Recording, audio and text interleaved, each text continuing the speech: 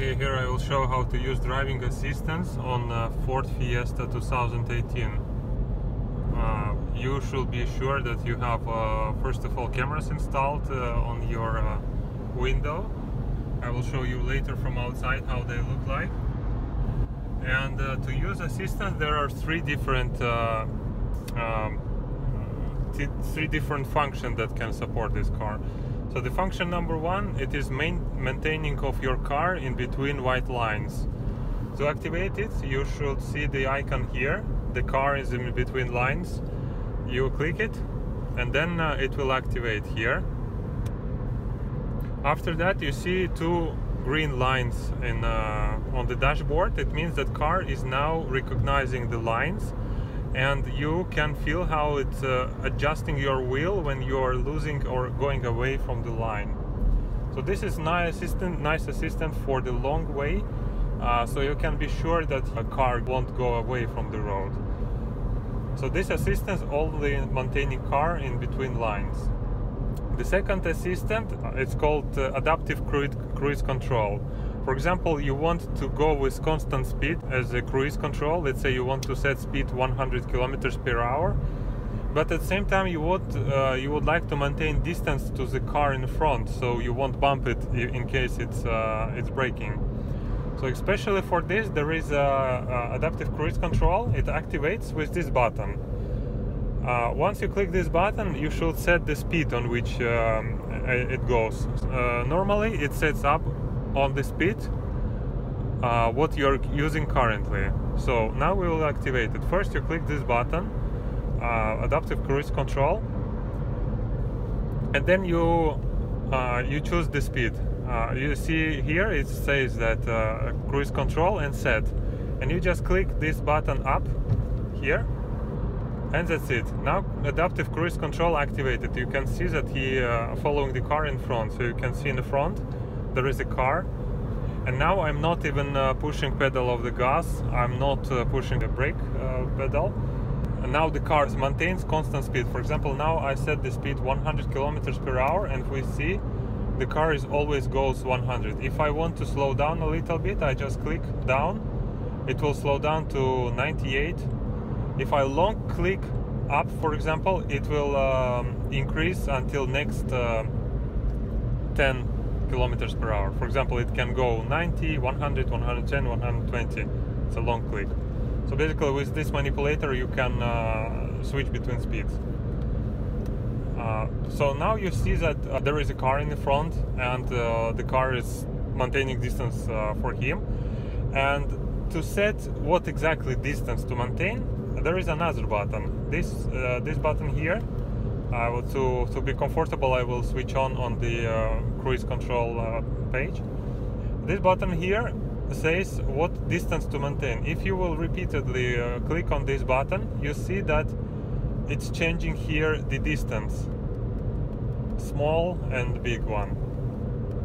So if you will now see uh, have the car in front, you will see that uh, the car is approaching. So for example, that car, we will now approach to it.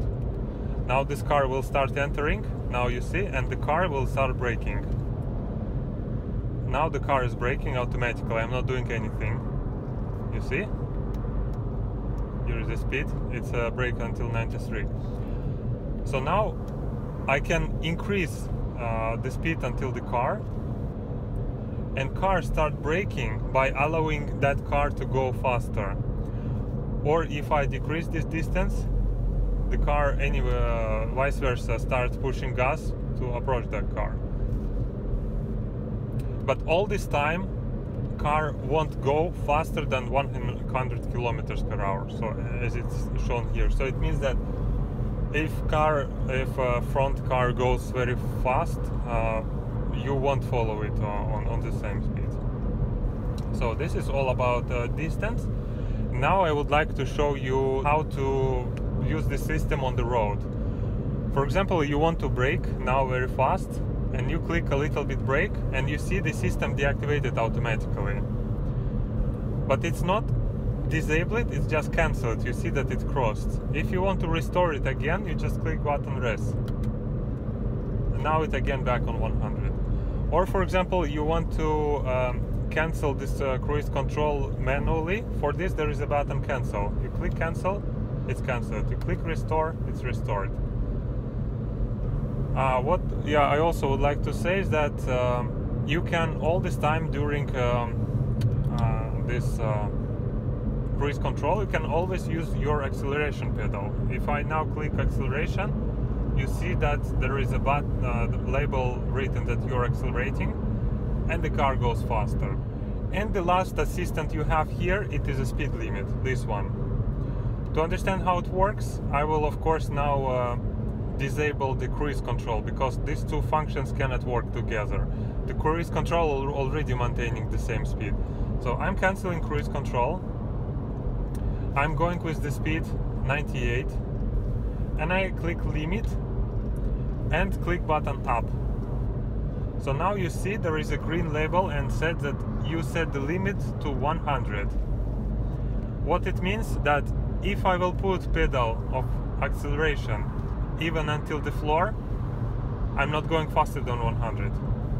This is a very nice uh, function if you go somewhere where limit is 50 or 60 and you don't want to uh, go faster and every time watch your uh, uh, speedometer you just uh, set 50 kilometers per hour and you go uh, 50 now the same to cancel this speed limit you just click cancel button.